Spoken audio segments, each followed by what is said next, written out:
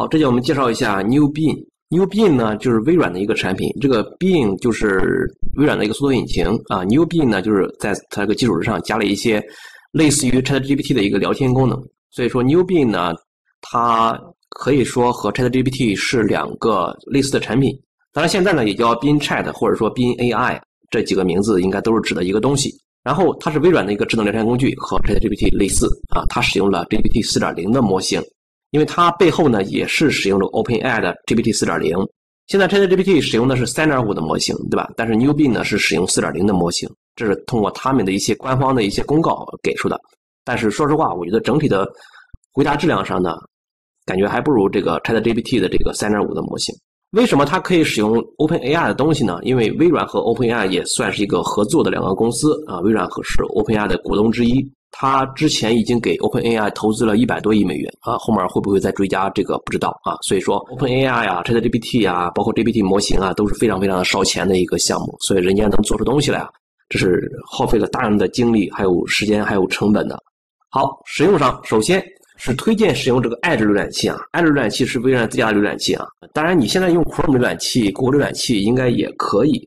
但是呢，之前是不行的，之前是必须使用 Edge 浏览器才可以啊，所以说我一直是使用 Edge 来去访问这个 BinChat 或者 NewBin 啊，这个看自己的情况。另外就是一定要使用国际版 Bin，不是国内版。看一下啊，国内版的 Bin 呢，比如我们在这搜索一个 Bin，有可能会到一个这么一个网址啊，这个大家看国内版有可能到国内版，大家看。国内版呢，它是没有这个聊天或者说这个 AI 功能的，所以说要到国际版。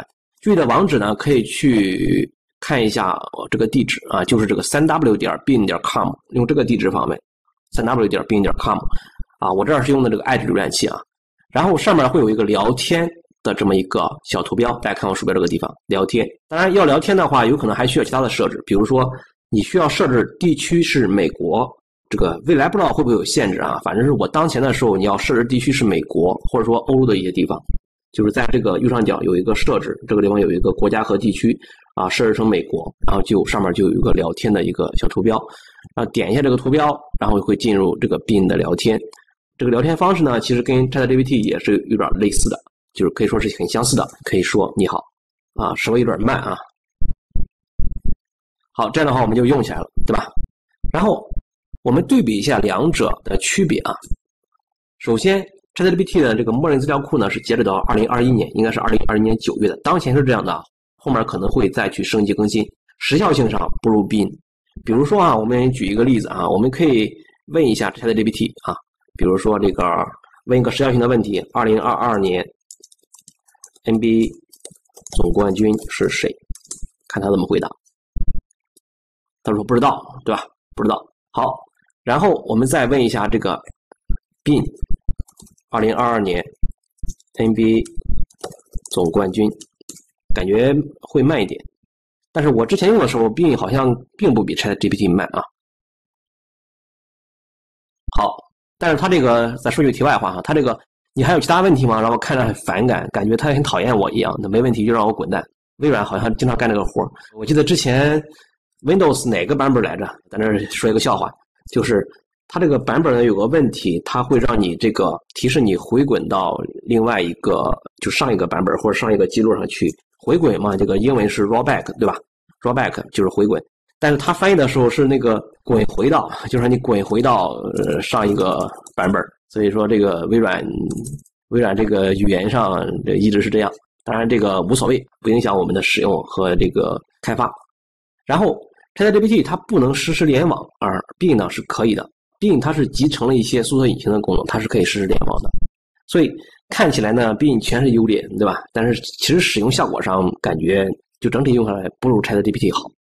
啊，当然 ChatGPT 回答的是倾向于丰富，Bing 呢回答是倾向于简洁。我们可以简单做个测试啊，比如说我们写一个 prompt，还是写个需求吧，好吧？你是一名资深产品经理，然后。要设计一个博客项目，写需求文档，请列出需求大纲。啊，咱们就简单做一个测试，好吧？博客项目，然后我们到 ChatGPT 中做一个测试。好看它给出的条目啊，每一条都说的非常详细，对吧？用户需求管理啊、用户管理啊，呃，博客发布啊，博客浏览和搜索呀，评论互动啊，管理员啊，还有这个响应式设计需求。这儿它停止了，大家注意看啊，我们正好演示一下。停止之后呢，你可以点这个按钮 Continue Generating，就是继续生成。然后还可以去干嘛呢？还可以让它写写一个继续，啊，它又继续了，对吧？这是那个响应式的布局的，对吧？然后安全和隐私，啊，多语言支持，然后可扩展性，还有数据备份和恢复，它列了十条，然后写的内容呢还是比较多的，对吧？然后我们再把这个 prompt，把这个提问呢，我们放到这个 new bin 上，我们去问一下它，对比一下这个效果啊。啊，你看，是吧？非常简洁，是吧？其实，如果说我们做一个产品经理啊，或者我们做一个开发人员啊，我们去参考需求的时候，这种东西基本上是没有什么参考价值。我觉得它只是列了几个大纲和范围而已。你像这个注册登录啊，有什么功能啊？包括这个个人资料该怎么管啊，对吧？这些细节上，它是远远不及这个 ChatGPT 回答的更加详细、更加丰富的，对不对？包括这个，比如说用户权限啊，如果说你自己不是一个资深的产品经理的话，有可能就想不到这一点，有可能就会疏漏，对吧？虽然说我们都是提的一个同一个问题，对吧？列出需求大纲，但是 Bin 呢给我们的就感觉简洁很多，然后 ChatGPT 呢就给我们的一个丰富的很多。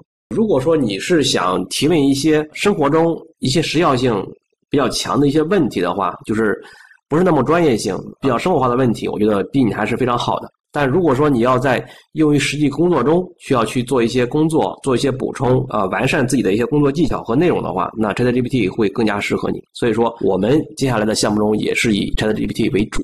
所以总结一下，Bing 呢整理回答效果上，我觉得是不如 ChatGPT 的。当然要分场景啊，你如果说就是生活中简单用一下，这个其实分不出来的啊，还是要回归到我们的日常工作使用上，就是对我们的需求啊、设计、啊、开发呀、测试啊，怎么样去完善，怎么样提效上，这个是 ChatGPT 是最好。